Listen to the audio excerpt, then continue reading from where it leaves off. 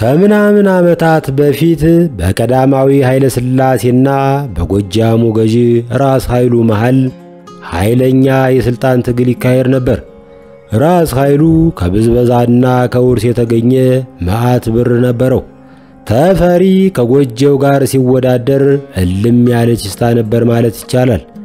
በዚያ ላይ ተፌ መላውን ጦቢያ በስሩ መጠቅለል ይፈልጋል እና መፋጠጥ መመላለስ ጀመሩ።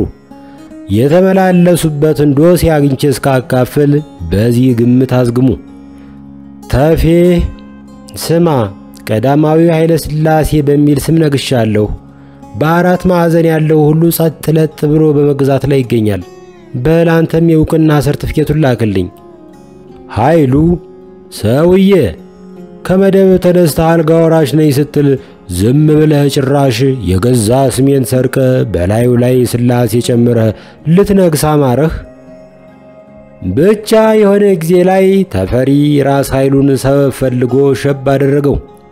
የተፈሪ ዳኞች በተከሳሹ ላይ ሞት ፈረዱበት።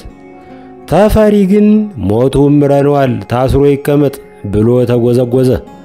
በጊዜው እስር ቤት እንደ ስሙ ፍርደኛ የሚታሰርበት ቤት ነበር። ግድንግድ የብረት ካቴና ገንባሌ ማሰሪያ ላይ ይገጠምልሃል። ብዙ ከቆየህ የታሰርክበት የእግር ብረት እግርህን ይገዘግዘውና ጋንግሪን ይቆርጣሃል። ብዙም ሳይቆይ ኃይልሻ ምሕረት ሳይሆን ምሬት እንደተቀበለ ገባው።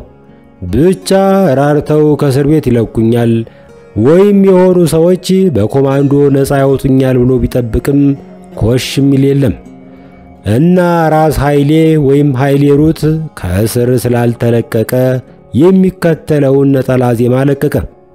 ሰው በድዬ ነበር እኔም እንደዋዛ ቁናው ቁናዬ ነው ትንሽ ዙሩ በዛ። ቁም ነገሩ ያለው እዚህ ላይ ነው። we learn from history that we do not learn from history አለ ሄግል። አንዳንዴ ሳስበው የአበራሽን ጠባሳ ያየ በእሳት አይጫወትም የሚለውን ተረት የፈጠረው ሰውዬ የሰውን ባህርይ የተረዳ አይመስለኝም።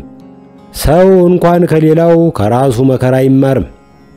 አበራሽ ራሷ እድሉን ብታገኝ በአዲስ መልክ በእሳት መጫወቱ አይቀርም።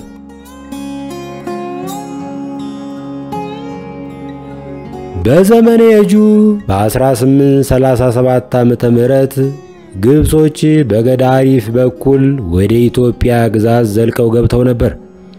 በጊዜው የደንቢያ ገዢ የነበሩት ደጃዝማች ክንፉ የተመራ የኢትዮጵያ ጦር ወራሪዎችን በመደምሰስ ድል ተቀዳጅቷል። እንጦኒዮስ ዳባዲ የተባለ መንገደኛ መዝግቦ ያስቀመጠው የጥንት ግጥም ስለ ጦርነቱ የሚከተለውን ይተርካል። የረጀባ ተስካር አወጣነ ቢያ አምስት መቶ ታርዶ ቱርክና ሻግያ የመዩ ጎራዴ ጥቁር የነበረ እየቀላ ሄደ ቱርክ እየመሰለ ረጀባ ከመጋቢት 12 እስከ ሚያዝያ 12 ያለውን ጊዜ የሚወክል የአረበኛ አቆጣጠር መሆኑን ሊቁ ብርሃኑ አበበ ነግረውናል። ጦርነቱ የተደረገው በሚያዝያ ወር እንደሆነ ይገመታል። ስንኙ እንደሚተርከው በጦርነቱ ውስጥ አምስት መቶ የግብፅና የሱዳን ወታደሮች ተደምስሰዋል። በገጣሚ ወይም በገጣሚው አገላለጽ ለተዝካር ማውጫ እንደቀረበ ፍሪዳ ታርዷል። የቀድሞ አበሻ በመልክ ቀላ ያሉትን አረቦችን በደፈናው ቱርክ ብሎ ይጠራል። ጥቁር ሱዳኖች ደግሞ ሻግያ በሚል ስያሜ ይጠሩ ነበር።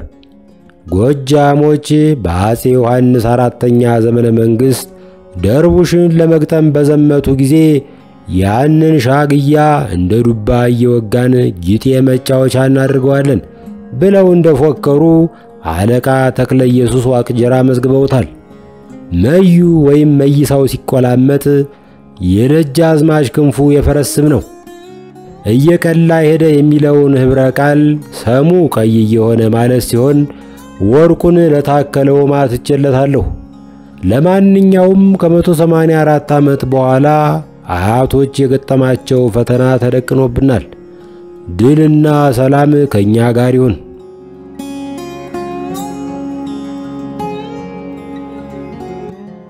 ዘመነ መሳፍንት በሚባለው የገዢዎች መንግሥት ወቅት እንዲሆነ ራስ አሊ የተባለ ጎፈሬ መስፍን አገሪቱን ይመራ ነበር። ከእሱ በታች ደጃች ውቤ የተባሉ ባለሹርባ መስፍን ከሰሜን እስከ ምጽዋ ያለውን ግዛት ያስገብራል። የሆነ ጊዜ ላይ ውቤ ደጃዝማችነቱ አላረከው አለ። ደጁን ብቻ ሳይሆን ሙሉውን ግቢ ፈለገው። ለመንገስ በጣም ሻፈደ። በምጽዋ በኩል ብዙ ጠመንጃ እየሰበሰበ አከማቸ። ብዙ ጭፍራ መለመለ። የሚቀማውን ስልጣን የተገባ ሌጊትሜት ለማድረግ አባ ሰላማ የተባለ የግብፅ ቅጥረኛ ጳጳስ አሰናዳ። የሚቀረው ምንድን ነው? ራስ አሊን ከስልጣን ማባረር። ታሪኩን ላሳጥረውና ራስ አሊና ውቤ ደብረ ታቦር ላይ ገጥመው ተፈሳፈሱ። በጦርነቱ ላይ የውቤ ባለነፍጥ ሰራዊት የራስ አሊን ፈረሰኛ እንደ ቅጠል ያረግፈው ጀመር። ነገሩ ያላማረው ራስ አሊ ብረት ለበሱን ማለቴ ፈረሱን የኋሊት አዞረና ቆሰቆሰው። አብዛኞቹም ወታደሮቹም ተከትለው ሸሹ። ውቤ ነገሩ አሸወይና እንደሆነ ሲመለከት ድንኳን ጥሎ አስደግሶ ወታደሮቹን የድል ምሳ ጋበዘ። ምሳው እየተበላ ጠጁ እየተጠጣ ወታደሮች እየመጡ ይፎከራሉ።